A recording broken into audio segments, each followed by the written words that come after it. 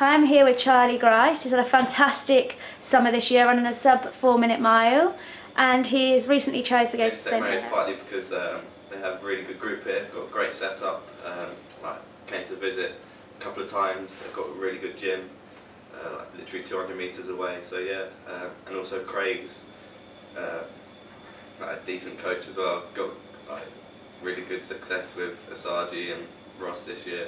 Um, yeah, just wanted to be a bit part of that as well.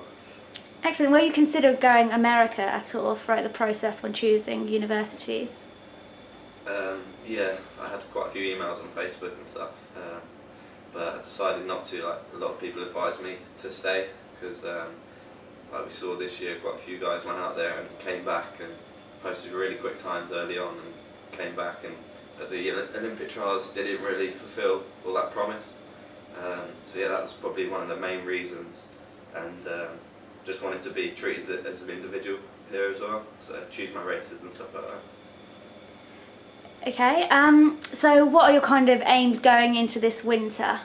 Um, well, I'm off to Kenya in, in two weeks' time, so uh, get some good training out there, and then come back and race the uh, European trials.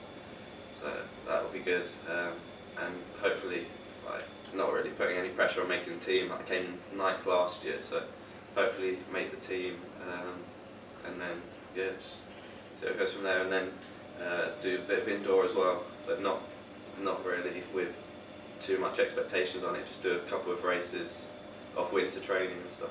Okay, Charlie, how is training different to here to what it would be back at home? Um, I've been doing quite a lot of long stuff recently because obviously the cross country season's coming up. Um, a lot of tempos and uh, longer reps, which is good because uh, there's a good group of lads there at the moment. Um, and yeah, we'll work together and um, hopefully do well in the cross season. But um, also we do like circuits and stuff, circuits, drills, which I did back home, but it's still good to keep those things up. Um, and yeah, it's just great training with training with people. Because uh, at home I used to uh, have to push on by myself, sort of thing, like leading out all the time. And uh, here I can sort of relax and push on a bit more and work.